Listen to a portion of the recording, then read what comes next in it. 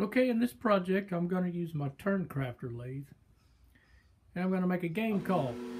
Because my very first comment on my new wood turning channel was make one of them game calls. So here you go, John, just for you.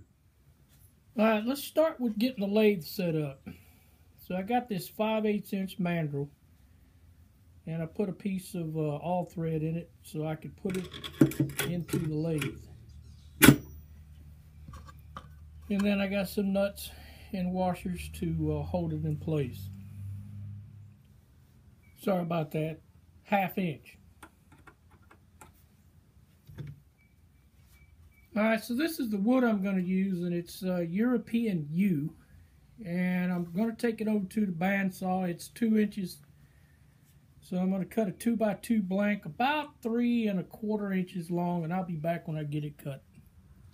Alright, I have it drilled out and on the mandrel.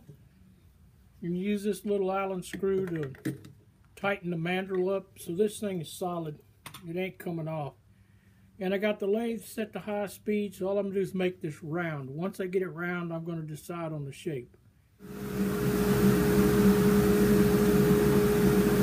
Alright, so I'm getting the basic idea of what I want.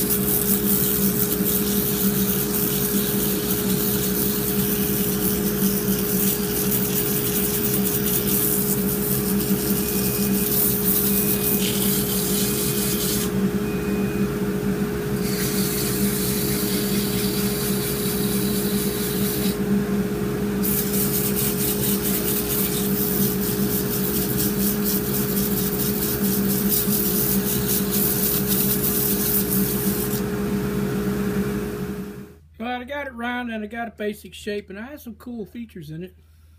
Little knots here and there. Cuts. I like it. I'm going to sand it up to 320. Then use some uh, old uh, Yorkshire grit. And then I'm going to do an inlay here. I'm going to put a colored epoxy inlay, probably gold. I don't know, maybe some other color. I'll figure it out. I decided to go with Super Copper. So I got some two-part epoxy. I got a little Dixie cup. I'm going to sprinkle some of that in there and then stir it up with this stick I found in the yard.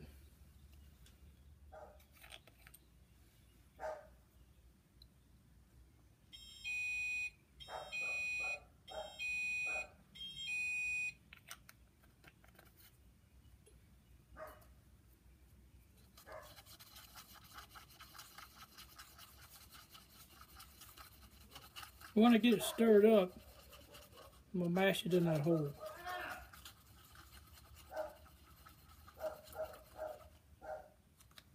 Alright, it's all mixed up. It's basically a paste. And you don't have to be super delicate, but you want to make sure all of the hole, because you're going to turn it back off anyway.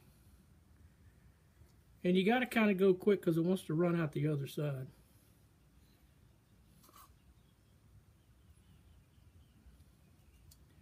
So just keep turning it.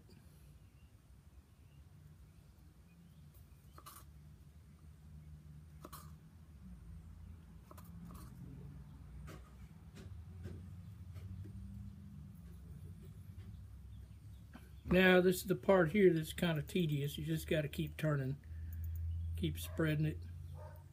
And if you see any bubbles forming, you need to pop them.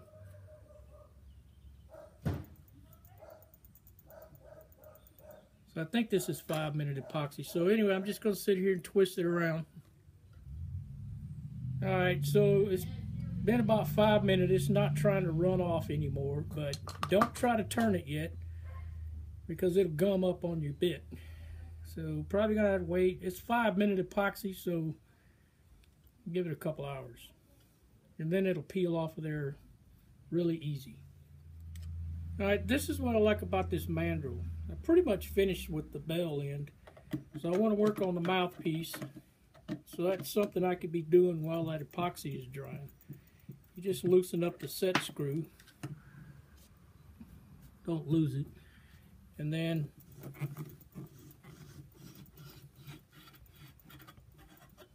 pull it off and reverse it. And it's still pretty true. While I'm waiting for that epoxy to dry, I got a crack that might be happening here and I don't want it to go anywhere, so I'm to put a couple of drops of super glue thin, let that soak in. Got one here too.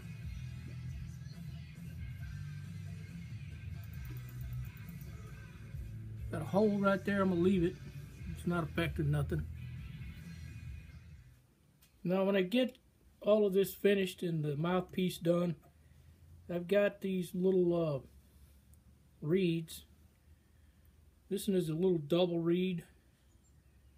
And I'm gonna get my pocket knife and make sure it's got a little bit a little bit of gap then I'm going to put this sleeve over it and then push it through this little uh, spacer and then I've got it rigged up for my little pin vise where I can squish it into the game call because it's you can't hardly get it in there without some kind of mechanical force.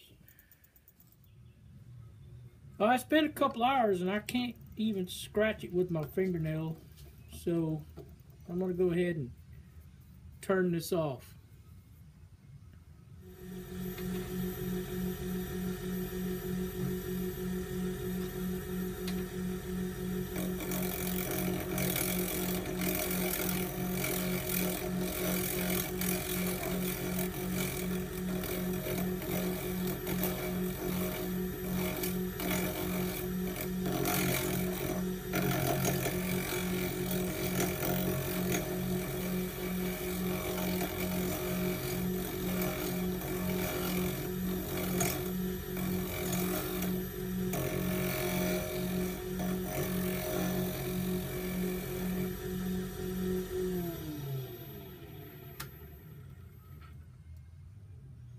Getting there.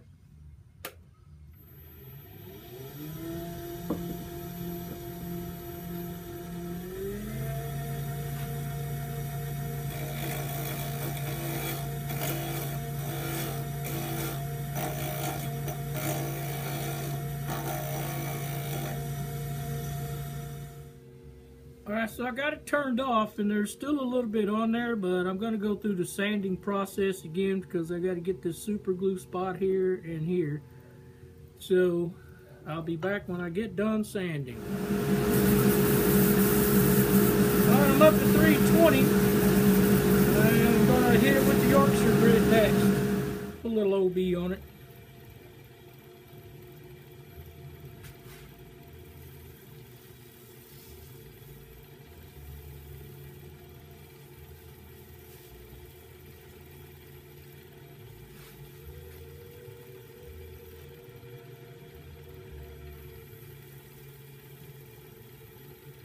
Shining now.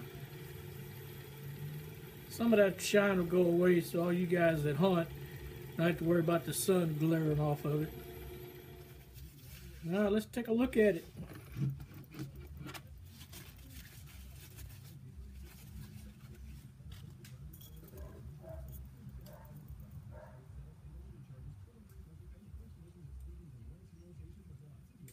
and stick a reed in it. I'll show you. All right, so this is the mouthpiece in, so I want to put the reed in facing the mouthpiece.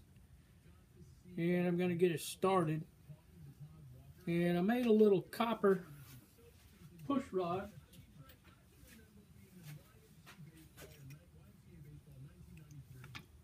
And I got to draw it back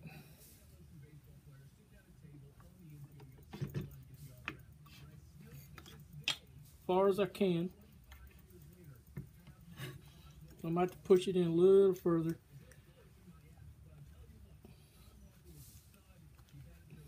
Until I can get it in here.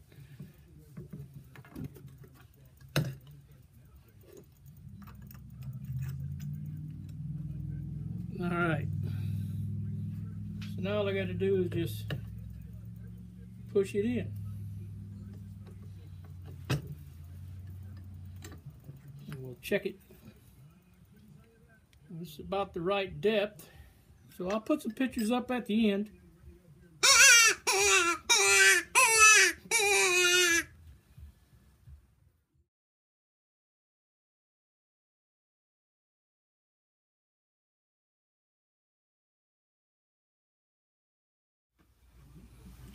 Well, I hope y'all enjoyed it.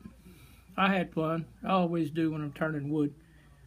Um, you can make game call any shape you want. There's a number of different reeds out there you can buy if you want to make a duck call or a rabbit or a jackrabbit or a coyote sounds or whatever. They have them, and most of them come with directions on how to do it. Or you can buy the whole kit. I used to buy the kits, but now I figured out how to do it on my own, and I got the right kind of mandrels and tools and so forth. So I'm glad y'all checked in. Uh, check back again. Like and subscribe if you want to see more of my projects, uh, ranging from game calls, bottle stoppers, pins, bowls. Made a nightlight the other night out of acrylic, so never know. Thank you.